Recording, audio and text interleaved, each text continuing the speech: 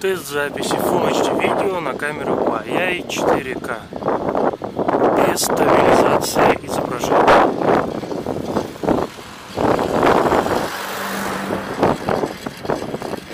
Ах да, и изданы велосипеде, если что.